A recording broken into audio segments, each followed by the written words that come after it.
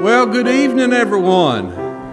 A joy to see you out tonight on this beautiful Wednesday evening. Thank you for coming out in house. And also, those of you joining us online, you bless our hearts by being with us online. And uh, we're so grateful that God's given us this time to come in in the midweek service to look into His Word and to spend a few moments in prayer and encouragement in the Lord. Amen. Let's go to the Lord in prayer. Father, we are so grateful for the beautiful sunshine, the beauty of this day, God, that you have blessed us with. I'm thankful, Lord, for those that have come out tonight and those joining us online, and Lord, for their effort. I pray, God, that you would uh, bless them with yourself. And God, that you would uh, speak to them and encourage them and instruct them, Lord, and just do a wonderful work of grace in each of our hearts. There are many upon our minds, Lord, that are hurting, who are sick, just struggling. And God, we, we lift them up to you, asking for your mercies to be upon them, for your healing, for your strength, for your comfort. And God, we are mindful of our brothers and sisters who are uh, in times of, uh, in times of struggling right now. And God, we just lift them up to you. God, we pray that uh, you will be honored and glorified and that you would go before us in this service and prepare us uh, to hear from you. And we ask these things in the precious name of Jesus Christ. And all of his children said tonight, Amen. Brother Brandon, if you will.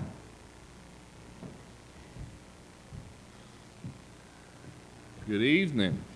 If you would please stand, we'll do our hymn for tonight. It's going to be 96 in your hymnals. We'll sing all three verses of Great is Thy Faithfulness.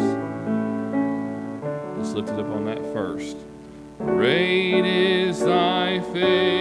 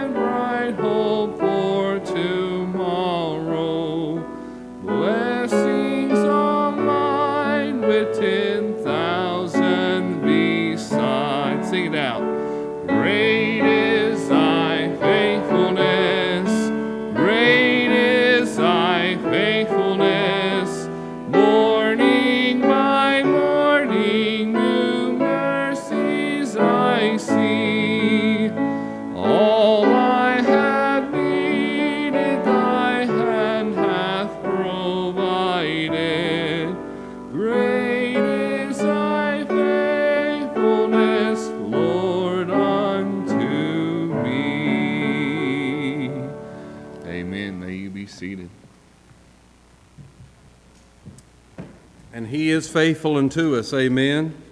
He is faithful uh, to his people, he is faithful to hear our prayers. Next Thursday, a week from tomorrow, is May the 4th. That is the National Day of Prayer. Uh, there'll be several of our churches coming together. We're going to be at the courthouse, the, the steps there at noon. So I hope that you can come out and be with us next Thursday uh, at noon there here in Berea on the courthouse steps. Uh, for those that might be listening, they're having one in Richmond, also in the courthouse, I was told today. And so, uh, but hope that you can come out and be with us for a time of prayer in the midday next Thursday. Also, hope that you can be in uh, person with us this weekend as we're continuing on in a series uh, dealing with temptation. Uh, also, come at 10, get in a small group there. They'll be dealing with the same scripture and in a small group and learn together and encourage one another. And there's a class for each one of you. Uh, and so come on out, be in house. We've been having good numbers, slowly creeping up. But boy, that, just makes whets my appetite to hit those three digits hopefully soon in Sunday school. Uh, we had 93, 95, 97 the last three weeks, if my memory is serving me correctly, and I see back there rightly.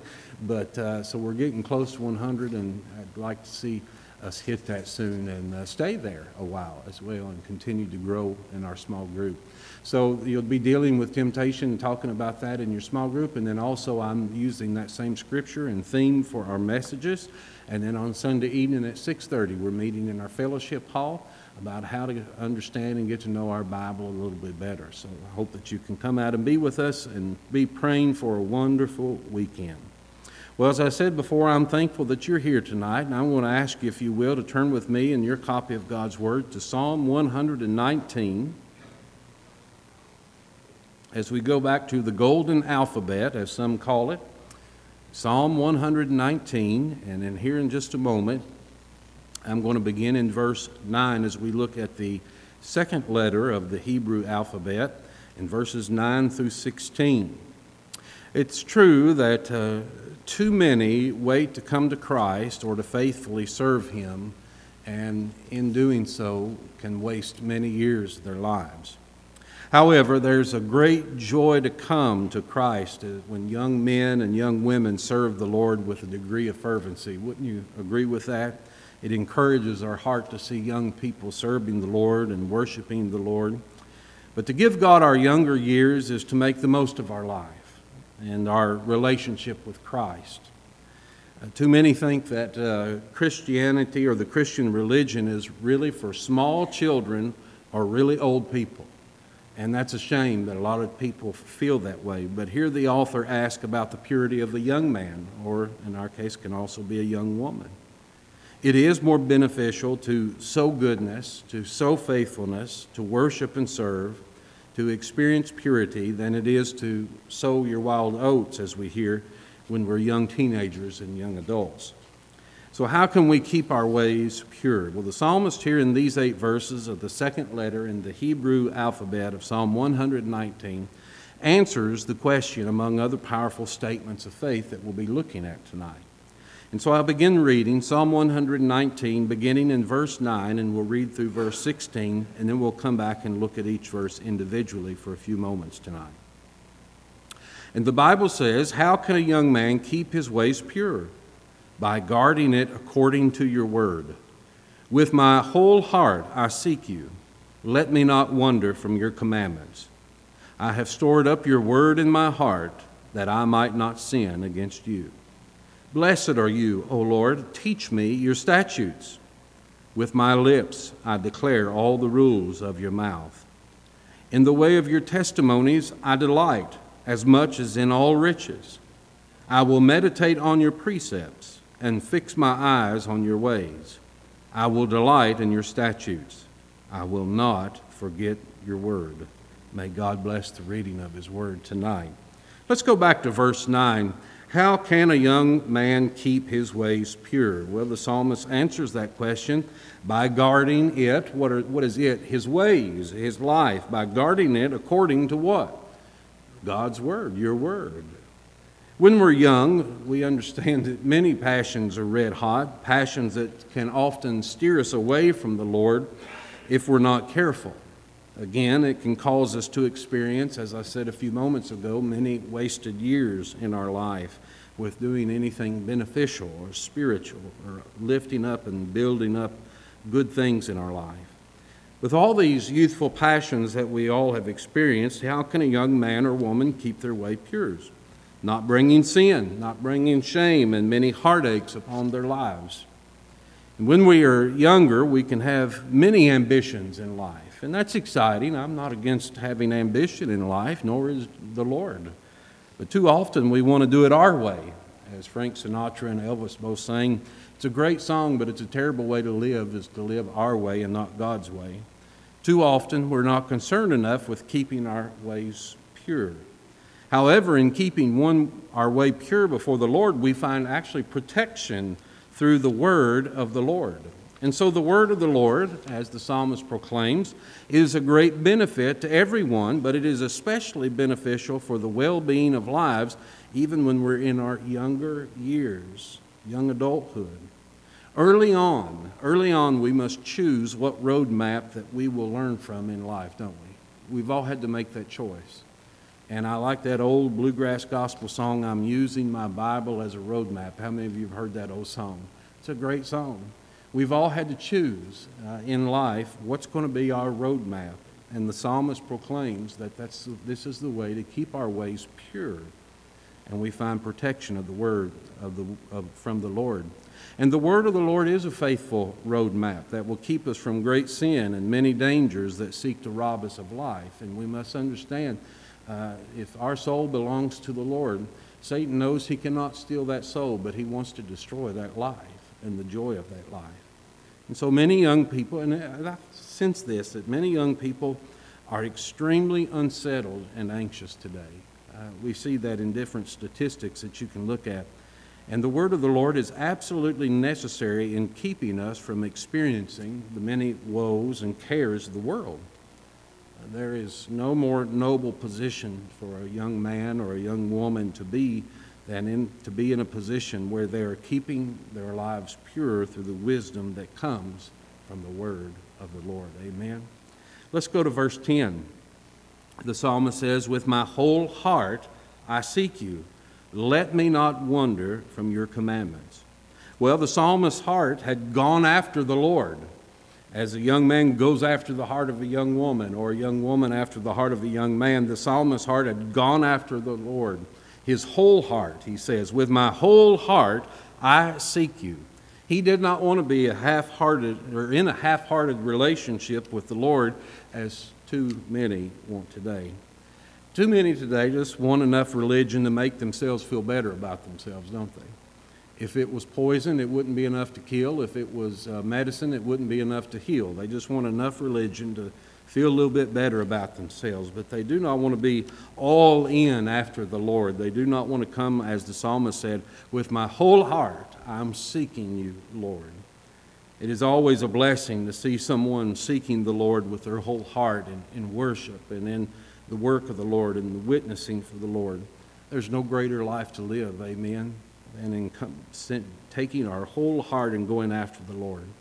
We can give our hearts to many passions and to many people, and we will in this life, but there is always the greater blessing when we seek the Lord with our whole heart. A half hearted heart misses out on many blessings and misses out on many joys that only comes when we seek the Lord with our whole heart. What are you seeking for today with your whole heart? It's a question we all must ask. Now, the second half of this verse is a prayer following his declaration. He says, With my whole heart I seek you. And then he says, But let me not wander from your commandments. So he understands that the possibility is there for him to wander. The psalmist knew that not only his heart, but all of our hearts can and do wander from the Lord from time to time, and that his word quite easily in this life we can remove ourselves from. And he asked for the Lord's help so that he might not do that very thing. He did not want to be pulled away with his passions or anything else that might remove him from the heart of the Lord. With my whole heart I seek you, but let me not wander from your commandments.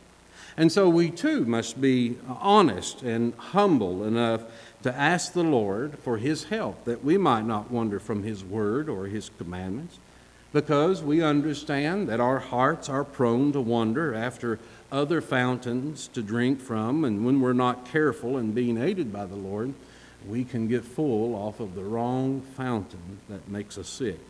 And so the psalmist needed the king to be the keeper of his heart, and we all do. And so it is with all of us. Jesus is to be the shepherd of our hearts. Amen. Let's go now to verse 11. I have stored up your word in my heart that I might not sin against you. I've hidden your word in my heart. Now, what do we do that we might not sin against God in heaven? Well, the psalmist answers that. We read the word of the Lord and we hide his word in our hearts. So, how do we hide his word in our hearts? Well, one, by reading it, of course.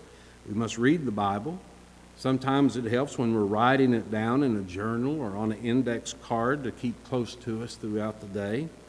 Keeping it close, reciting it. Uh, reciting it, singing it, uh, even praying the scripture. And also, I would say sharing it with others is a good way to hide the word of God in your heart and to remember it when you share it with others. The psalmist is saying that his heart would be kept by the word of the Lord because he kept the word in his heart. How many things in this life touch or move our hearts to certain action? But let the child of God, above all other passions, hide God's word in their hearts so that they will be kept from sin, from shame, and guilt that can result in the death of many things in this life. Uh, this is not to be done just academically or just for the sake of testing your memory or building your memory, but it's a joyful act of affection towards the Lord when we hide His Word in our heart, when we store up His Word in our heart. And so the psalmist proclaims that he loves the word of the Lord because he or she hates sin and knows how that sin can keep us from knowing and properly being in fellowship with the Lord. This is our greatest ally in the Christian life in helping us not sin against the Lord and rescuing us from many troubles. And that is by hiding his word in our hearts and attacking temptations and trials when they come with it, as the Lord Jesus did against the temptation from Satan. He quoted the Word of God back to him. And so we too must be as the psalmist and hide His Word in our hearts daily that we might not sin against Him. And so now look at verse 12. Blessed are you, O Lord. Teach me your statutes.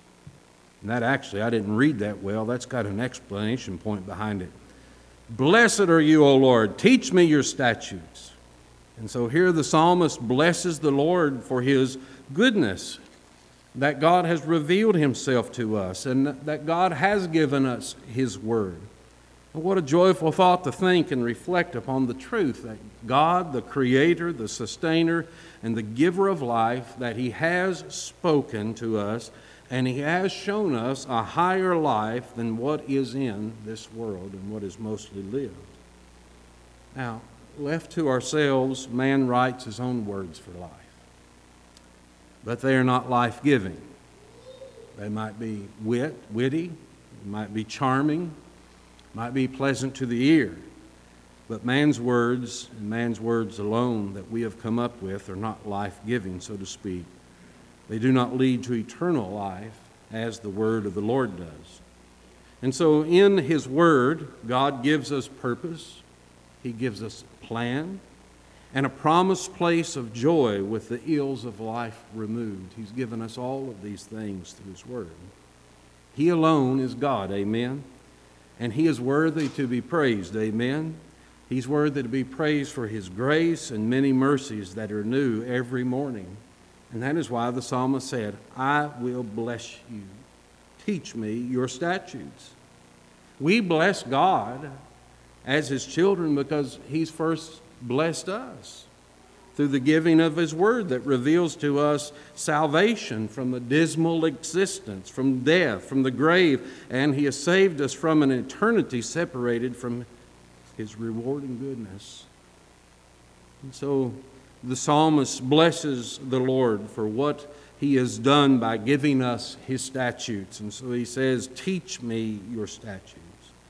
The psalmist wants to be taught more of the Word of God and more of God's ways. And so he asks for help because he does not want to waste his life knowing only man's wisdom and man's words, but he wants to experience all that the statutes of God gives to us. Oh, that we too may bless the Lord with our tongues and our actions, having a desire for the Lord to teach us more about himself through his word verse 13. The psalmist says, With my lips I declare all the rules of your mouth. You know, with our lips, we declare many things from where we want to eat or like to eat to what we like to read or what we like to watch or how the game went this past week. We declare many likes and dislikes and a host of other personal information in this life that we use our lips for. I'm not saying any of that's negatively or bad in itself. However, the psalmist states that he will declare with his lips the rules that have come to us through God's mouth. He's going to proclaim God's word. Why? Because God's words are true. God's words are pure. God's words are holy. God's words are righteous. God's words last forever. Our lips were made to declare what has come to us from God. We were made to declare the goodness of God and the word that has come. How do we use our lips? We have to ask that. To build up or tear down? To be thankful or ungrateful? To be pleasant and peaceful or prideful? To bring a burden or to release burdens? To be anxious or to be hopeful? to speak life or to take life through our tongue, to bring joy with our lips or sadness. It is important how we use our lips to praise the Lord. Amen. It's important how we use our lips, especially as Christians who claim to know the Lord and to serve the Lord. Again, the, the rules for life from God give life and happiness, and His Word has been given so that His word will be spoken. Did you hear that? His word has been given so that His word will be spoken. And it is to be spoken by the, through the lips of those who know Him intimately by grace and through faith. What about you, beloved? Do you use your lips to speak wonderful words of life? Or do you use your lips more to speak of negativity and sadness and death. And so we all must choose today to speak the words that God has spoken to us and speak life not only into our own soul, but also into the souls of others. And as I often say, that always begins in the home. Amen. Look at verse 14 now. In the way of your testimonies I delight, as much as in all riches. The NLT puts it this way I've rejoiced in your laws as much as in riches. You know, riches uh, in this world are helpful. Amen. Let's be honest. Matter of fact, they're needed to survive in many ways, and it seems to take more money uh, to live today than it did even a few years ago. We need a certain amount of money to pay our bills, to meet our needs, and yes, even experience some of our wants that God blesses us with. There's nothing wrong uh, with money in and of itself, but as the scriptures teach, the love of money is the root of all people, or the root of all evil. That's often misquoted. People say money is the root of all evil, but that's not what the Bible teaches. The love of money is the root of all evil. So, really, there is never enough money for most people because the more that they have, the more that they use, and then the more that they need. Amen? That's the way it goes many times. There's never enough money in this world for the ones that love it and use it wrongly. However, we read in these verses where the psalmist rejoices in the testimonies of God as much as in all the riches. Even if the psalmist had all riches, he still rejoices in God's word and rejoices in God's laws above all else. In the New Testament, we read where Jesus taught, Where our treasure is, there our heart will be also. And so the psalmist's heart rejoiced in the Lord's word. And so we ask ourselves this question Do I rejoice in the Lord's word as much, if not more, than all riches? Verse 15.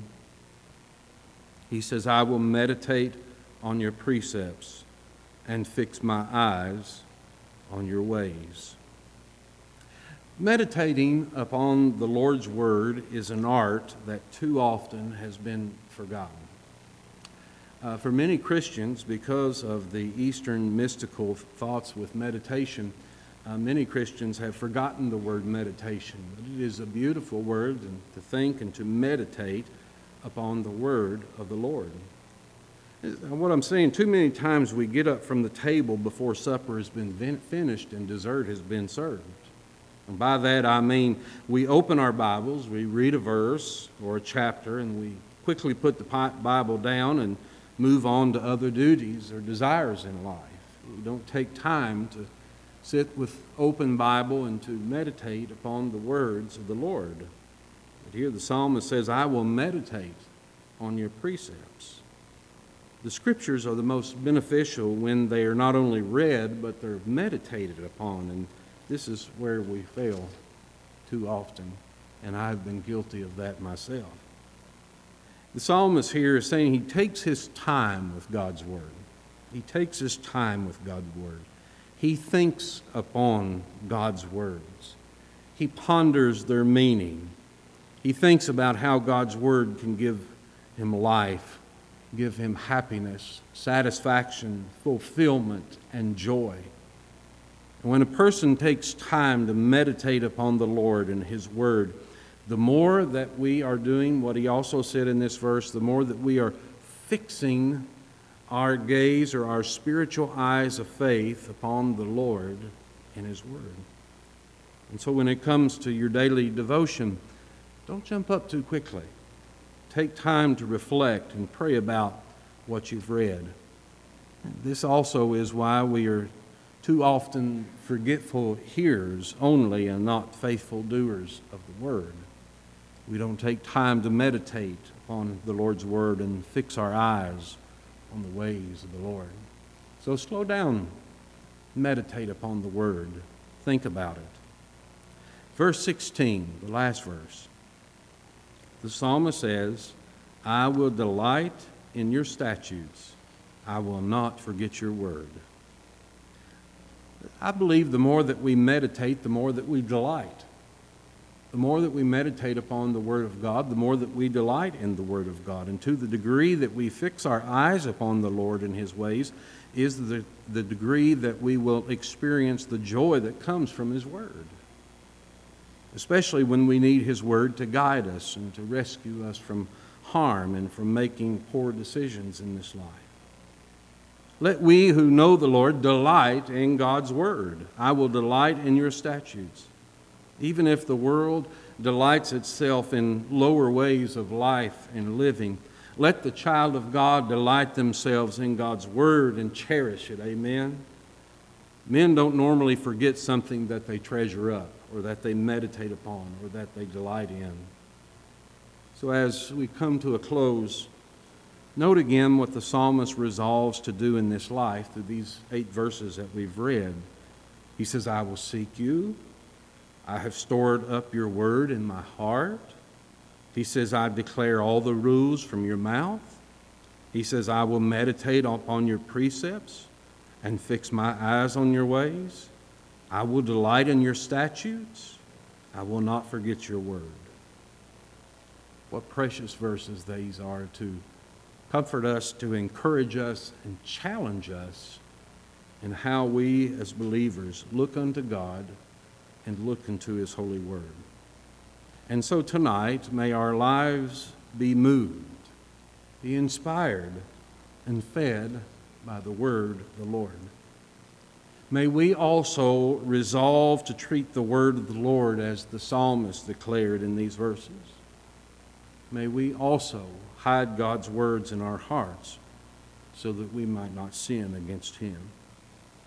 May we also find and know the higher ground of God's Word. And God's Word is higher ground that we need when the floods are raging around our feet and our ankles. And may you experience the many blessings and joys of delighting in the word, the word of the Lord. To God be the glory. Let's pray. Father, we, as the psalmist, rejoice in your word. We thank you for your word. We delight in your word. And God, as we have taken these few moments tonight to reflect upon your word, help us, O God, to store it up, to treasure it, O God, that it might guide us and strengthen us in our spiritual journey, and that we also, like the psalmist, may fix our eyes upon you. The days are dangerous in many different ways. And so, God, rescue us from the traps that our enemy sets for us. Help us, O oh Lord, not to waste the years, but to look into you and to live fervently and passionately with your word open and ever before us. God, work in our hearts and bring fruit from this time that we've looked into your word tonight and we'll be sure to give you the glory. We rejoice in you, and we ask these things in the name of Jesus Christ. And all of his children said, Amen. Thank you for those of you online for joining us tonight. We pray you've been blessed. Again, if you can, uh, be with us in house Sunday morning at 10 for our small group Sunday school classes, and then morning worship at 11. Sunday evening worship is at 6:30 in the fellowship hall for a few weeks as we look into getting to know your Bible better and understanding it better. So may the Lord bless you until then. Bye bye.